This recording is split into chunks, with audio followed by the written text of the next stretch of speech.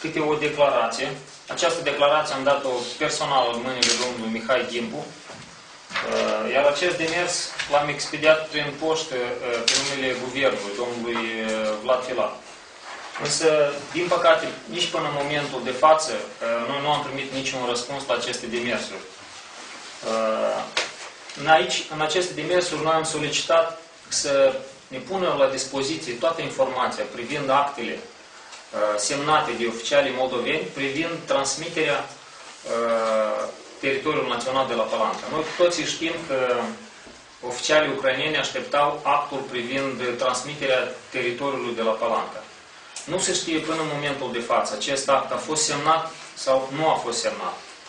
Noi uh, credem că nu este cea mai transparentă metodă de a reflecta acest eveniment. Credem că acest uh, fapt este unul de, de importanță națională. Noi solicităm uh, actualii guvernări, spunem așa, actualilor uh, factorilor decizie să asigure o claritate în problema dată, să asigure o transparență, să organizeze cât mai multe dezbateri cu implicarea directă a societății civile, Uh, dar și a factorilor locali uh, în această problematică. Începând cu anul 2002, această porțiune de traseu este practic proprietatea Republicii Ucraina pe teritoriul Republicii Moldova și temerile sau riscurile care le prognozăm noi, putem spune că ar fi posibile în cazul în care ar fi uh, și subsolul trecut în proprietatea Ucrainei, Adică cum va fi abordată de către partea ucraineană această proprietate? Deci ca o proprietate pe teritoriul Republicii Moldova sau ca un teritoriu ucrainean pe teritoriul Republicii Moldova. Ă, problemele care ne pun în gardă țin de punctele, câteva puncte ale protocolului adițional și anume ce ține de jurisdicția ucraineană pe acest traseu.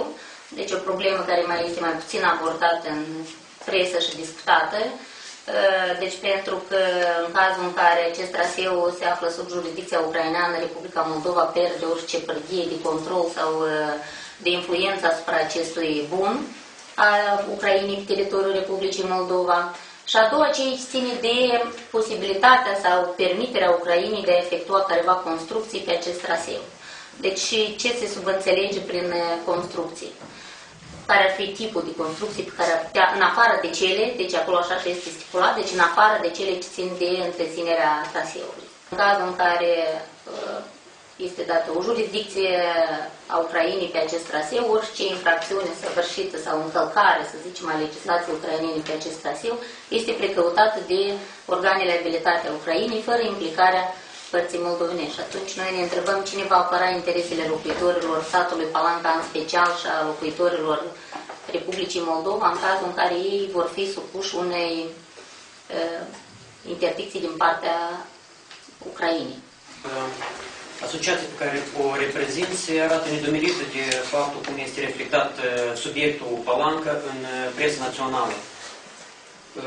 Pe de altă parte, observăm lipsa totală acestui subiect în presa de la Chișinău. De altă parte, observăm un activism sporit din partea presei ucrainene în acest teritoriu. Practic, nu există o săptămână în care să nu fie prezent în post de televiziune în acest sat.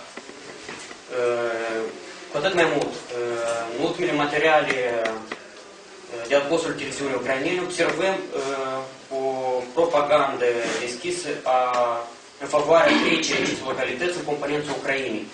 Cred că acest lucru trebuie să îngrijoreze nu doar autoritățile de la Chișinău, dar și jurnaliștii noștri. În rezultat, Republica Moldova riscă să piardă un război informațional din cauza lipsei unui, unui interes din partea instituțiilor media de la noi, fie din cauza unor, unui acord tăcit din, dintre niște grupuri de interes de la Chișinău și Kiev.